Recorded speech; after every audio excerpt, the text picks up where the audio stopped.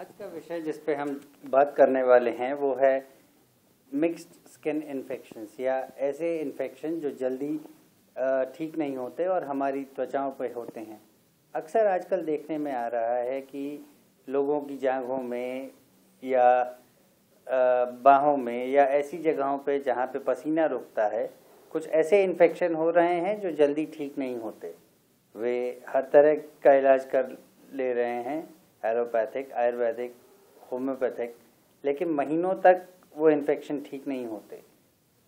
एक मूल कारण है कि अक्सर लोग किसी चिकित्सक का परामर्श नहीं लेते, लेकिन एक अन्य कारण भी है, और वो ये है कि अक्सर ऐसे इन्फेक्शन्स में लोग इस्तेमाल करते हैं क्रीम्स का, जो कि अपने में तैली या ऑयली होती हैं। तैली या ऑयली चीज़ पसीने के ऊपर तैरती है और नमी को बने रहने देती है ये इन्फेक्शन जो भी होते हैं, वो अक्सर फंगल या बैक्टीरियल कारणों से होते हैं और दोनों को ही नमी की ज़रूरत होती है, पानी की ज़रूरत होती है पनपने के लिए। ऐसे में ये दवाएँ निराकार हो जाती हैं अपने में अपना काम नहीं कर पाती, निष्काम हो जाती हैं, निष्क्रिय साबित होती हैं और वो इन्फेक्शन लगातार बना रहता है, फैलता है, बढ़ता जाता है।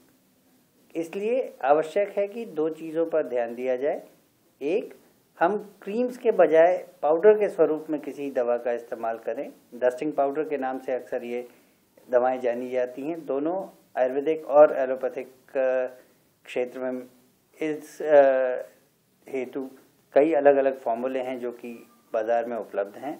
दूसरा, जो साबुन हम इस्तेमाल करें, उसमें तैलीय गुण या ऑयली गुण कम हो। वो त्वचा को नुकसान कम से कम पहुँचाए, रूखापन कम से कम पैदा करे, यानी कि कास्टिक ना हो, और त्वचा को मुलायम बना के रखे, इसलिए आवश्यक है कि वो ग्लिसरीन बेस्ड कोई साबुन हो, या उसका पीएच साधारण हो जिससे कि वो कम से कम त्वचा को नुकसान करे। धन्यवाद।